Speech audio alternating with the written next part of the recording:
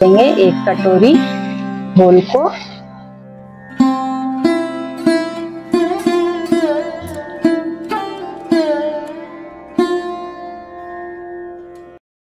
नमस्कार दोस्तों, ज्योतिष देसी रसोई में आपका बहुत बहुत स्वागत है। दोस्तों, आज हम बनाएँगे बिहार का मशहूर पुआ की रेसिपी जो कि होली हो या दिवाली हो या कोई भी फेस्टिवल हो तो सारे फेस्टिवल में हम बना सकते हैं। तो आइए दोस्तों, बनाना देखते हैं। तो पुआ बनाने के लिए हमें चाहिए इस कटोरी से, कोई भी एक कटोरी ले ले या कप ले ले, उसी से हम सारे मेज़रमेंट को करेंगे। तो हम दो कटोरी लेंगे मैदा।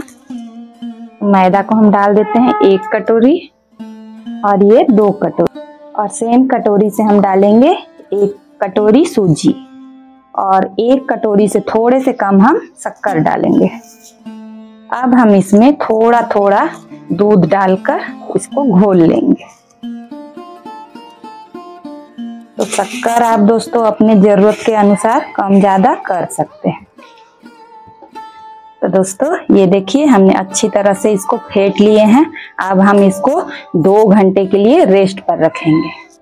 और दोस्तों, आपके पास अगर ज़्यादा समय ना हो तो कम से कम आप इसको एक घंटे के लिए रेस्ट पर ज़रूर से रखिएगा, तभी पुए अच्छे बनेंगे।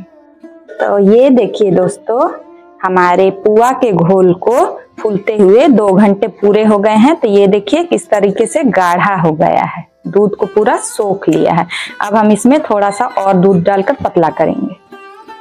तो ये देखिए दोस्तों, हमने और इसमें आधा ग्लास दूध डालकर इसको इस तरह का घोल को तैयार कर लिया है। ना ही ज़्यादा गाढ़ा और ना ही ज़्यादा पतला। तो दोस्तों, इसमें हमने टोटल दो ग्लास दूध डाले हैं। तो पहले जो हमने दूध डेढ़ ग्लास डाले थे ना तो वो हल्का गुनगुना था। और बाद में हमने जो आधा ग्लास डाले, वो बिल्कुल ठंडा था।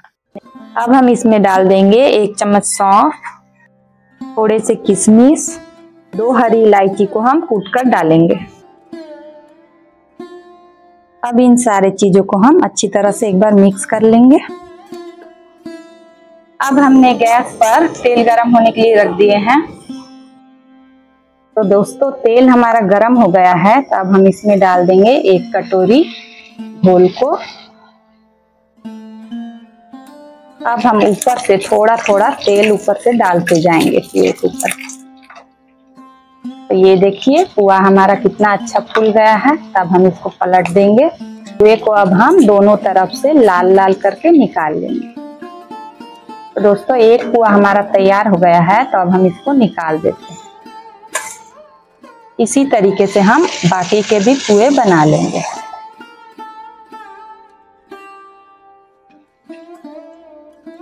हमारे दूसरे पुए भी तैयार है तो इसको भी हम निकाल लेते हैं।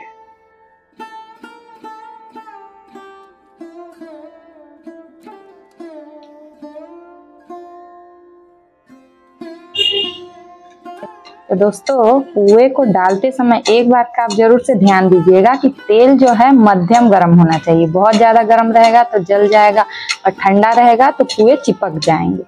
तो चलिए दोस्तों, हमारे सारे पुए तलकर तैयार हो गए।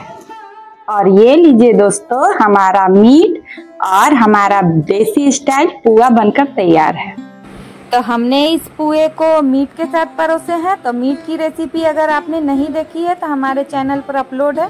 आप जाकर देख सकते हैं।